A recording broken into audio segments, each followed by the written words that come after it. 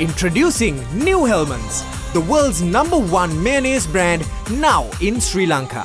සියලුදනාම දන්නා පරිදි පහුගිය දිනවල ඉන්දන මිල ඉහළෑමත් සමඟ බස්ගාස්තුවල යම් සංශෝධනයක් කරන්නට අපිට සිද්ධ වෙලා තියනවා.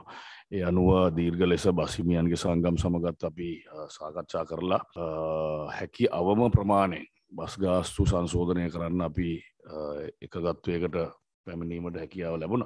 එය ඒ අනුව අපිට ඊයදිනේ කැබිනට් මණ්ඩලේ තවසර ලැබුණා අවම බස්කාස්තුව රුපියල් තුනකින්. එක නව බස්කාස්තු තිබුණ රුපියල් දාහතකට අව බස්කාස්තුව රුපියල් තුනකින් වැඩි කරන්නත් ඒ අනුව යට පහළවක් බස්ගාස්තු වැඩි කිරීමක් අපි ලබලදිලා තියෙනවා.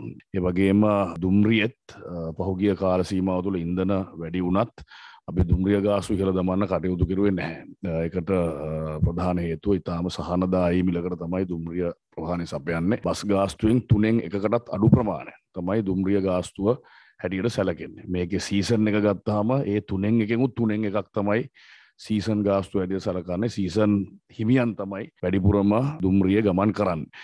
නමුත් මේ වතාවෙදී රුපියල් පනස් පහක පමණ මුදලකින් ඩීසල් මිල ඉහළ ෑම නිසා අපිට මෙතෙක් රජයෙන් දුම්රිය දෙපාර්තමේන්තුවේ පඩි අඩිසිියල්ල ලබල දුන්නත් ඉන්දන වියදම දුම්රිය දෙපාර්තමේන්තුවෙන් ධර්මයෙන් හිටිය. මේ තත්ත්ව යටතේ යම් මිල සංශෝධනයකට නොගියොත් දුම්රිය දෙපාර්තමේන්තුවට ඩීසල් මිලදී ගැනීමේ වියදම පවා තරන්න බැරිවෙන තත්ත්වයකට පත්වෙන නිසා තවම තීන්දු කරලා නැති වුණත් යම් ප්‍රමාණයකින් හැකි අවම ප්‍රමාණයකින් ඉන්දන මිල පමණක් හෝපියවා ගැනීමට සරිලන ආකාරය දුම්රිය ගාස්තුත් ඉදිරියේදී සුළු සංශෝධනයකට ලක්කරන්න නියමිතව තියෙනවා. ඊදිනේ කැබිනට් මණ්ඩලේ සංශෝධනයටත් පූර්ව අනුමැතිය ලබල දුන්න යම් අවම මට්ටමකින් දුම්රිය ගාස්තුත් සංශෝධනය කිරීම සඳහා.